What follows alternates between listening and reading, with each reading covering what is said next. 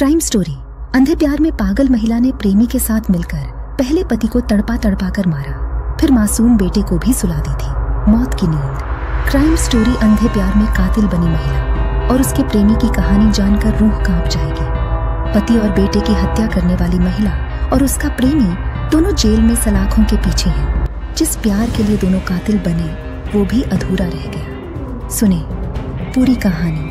उत्तर प्रदेश के गोरखपुर ज़िले की छह साल पहले की वह घटना, जिसके बारे में सोचकर आज भी लोगों के रोंगटे खड़े हो जाते हैं। रिश्ते को शर्मसार करने वाली घटना को अंजाम देने वाली एक महिला थी, जिसका ज़िक्र होते ही लोग उसे समाज में कलंक होने की संज्ञा देते हैं। कहानी उस हत्यारण की है, जिसने अंधे प्यार में पागल होकर प्रेमी के साथ मिलकर पति को मौत की नींद सुला दी। हैरान करने वाली बात तो ये है कि उसने प्यार में बाधा समझकर अपने कलेजे के टुकड़े बेटे को भी मौत के घाट उतार दिया आइए हम आपको इस घटना की पूरी कहानी बता दें। पुलिस को दी थी लूट के बाद हत्या होने की सूचना।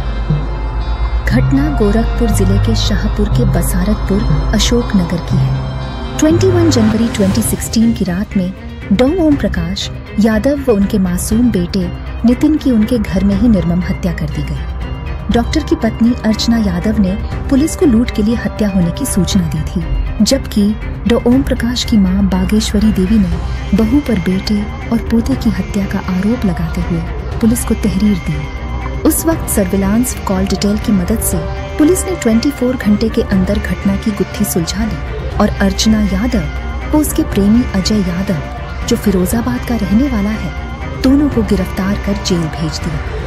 जेल रहते ही 2020 में दोनों को कोर्ट ने उम्र कैद की सजा सुना दी। अर्चना अपने ससुराल वालों से प्रेम संबंध छिपाने के लिए प्रेमी से दूसरे सिम कार्ड से बात करती थी। उसे बात करने के लिए सिम फ़ोन में लगाती थी और बात खत्म होने के बाद सिम बदल देती थी। लेकिन उसके पति को शक हो गया था, जिसके बाद उसने प्रेमी को बुलाकर वारदात को अंजाम दिया। पति को शक होने के बाद अर्चना का प्रेमी घटना वाली रात उसके घर पहुँचा। इसके बाद दोनों ने मिलकर घर में सो रहे डॉ।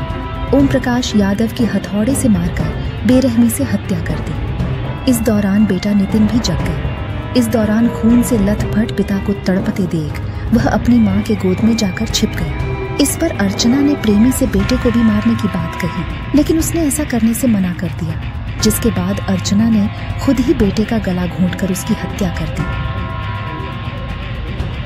जेल जाकर भी नहीं हुआ, पछतावा अर्चना यादव और उसके प्रेमी अजय यादव की दोस्ती फेसबुक के ज़रिए हुई थी। दोनों का प्यार परवान चढ़ा तो पिता पुत्र को बेरहमी से मारकर हत्यारे बन गए और दोनों को जेल हो गए। जेल जाने के बाद भी दोनों को कोई पछतावा नहीं रहा। छह साल की सजा के दौरान कई बार दोनों ने मिलने की अर्जी दाखिल की, लेकिन अनुमति न मिलने के कारण कभी मिल न सके।